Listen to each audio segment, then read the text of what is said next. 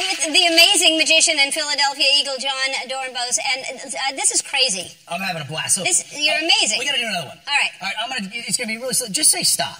Stop. Okay. Take it and look at it. And, and everybody, it doesn't matter. We can all see it. Or actually, no, not yet. You, you just show the crowd. Show the crowd. All right. But I'm not going to look. I'm going to blindfold All myself right. in the table. Okay. And then you can put it wherever you want.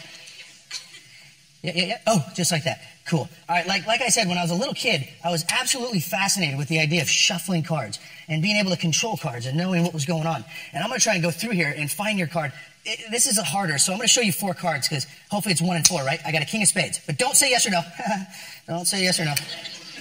We got a king of spades. Ooh, we got a nine of diamonds. Okay, the crowd's reacting great for me. Really appreciate you guys. Uh, we got a ten of hearts. I'm assuming it's going to be one of these right here. And I'm really excited about this. I wanted this trick just for you. Uh, and then there's a jack of spades. The card you picked, one of those four. No. No? What was it? I'm not going to tell you. Well, I tell you what, just point, just point to one. All right. Yeah, now, now name it. Uh, three of the hearts. I tell you what, there's one, there's two, there's three, and then there's all four threes for you. I thought we'd bust them all out. No, hold on. Hold on. Here's a pen.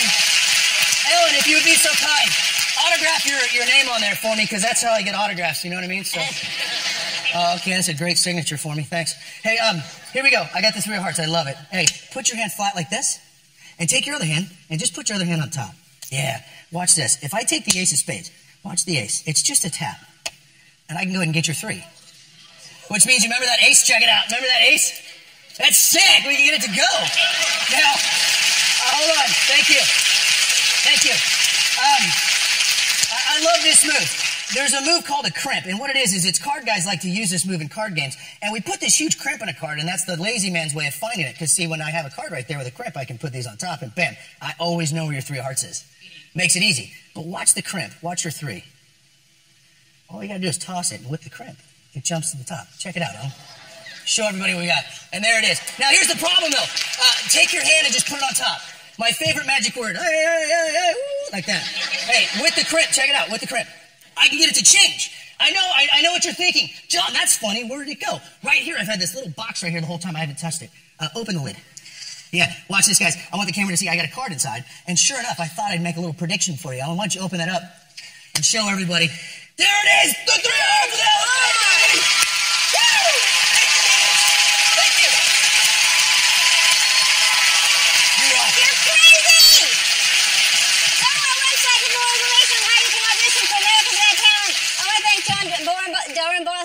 God, Shia LaBeouf, and Troye Sivan, and Jesse Williams. I'll see you tomorrow. Be kind to one another. Bye.